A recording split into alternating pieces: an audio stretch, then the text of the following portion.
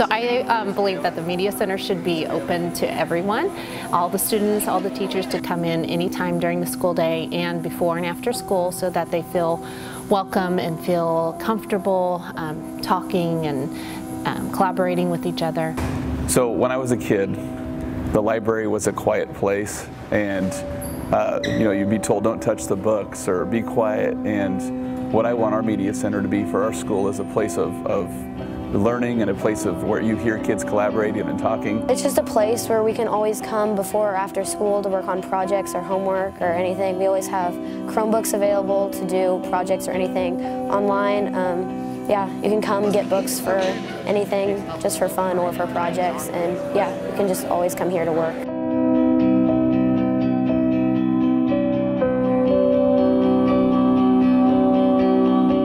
The things that the district has is called Google Expeditions. Or touch the orange flag for Google Expeditions. It's a virtual reality experience that has um, pre-planned lessons that students can view that show um, different areas around the world so that we can see the setting of, let's say, a geography or um, a different country or just a different experience than looking at a book. We have Makerspace, which is probably my favorite part of being a library aide and being in the library.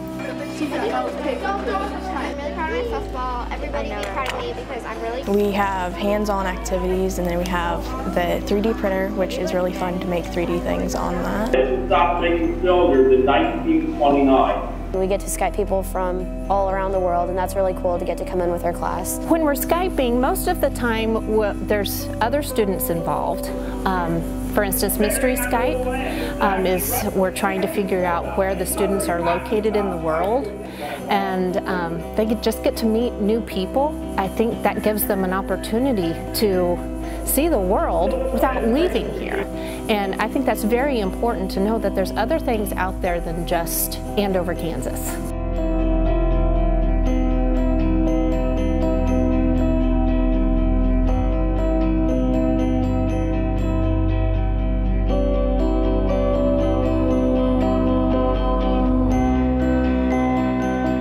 Thing about a grant like this is like those what ifs become a reality and we can we can deliver more to kids. We can impact learning in a different way than we've done before.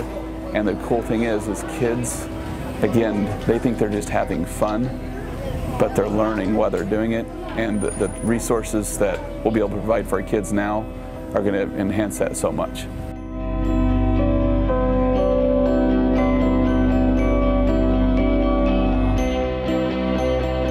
We get to be the pilot for not only our district, but maybe for other schools across the, across the state or maybe across the country and what a media center could look like.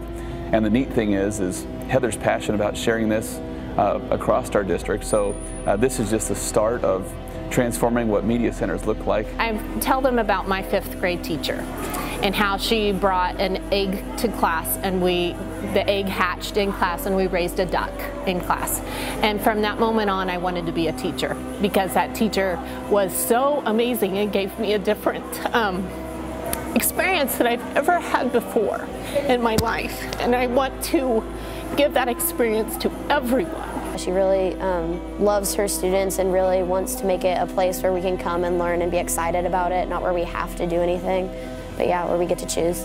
Heather is, I mean, she's teacher of the year quality. She's got a heart of gold, she's got a heart of service, and everything she does is about kids in our school. And she's the type of teacher that, you know, every, every kid deserves to have once in their lifetime.